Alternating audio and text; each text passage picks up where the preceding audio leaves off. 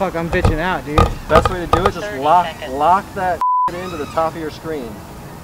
You know, if that's locked in the top of the screen, and you gotta enter it close. Yeah.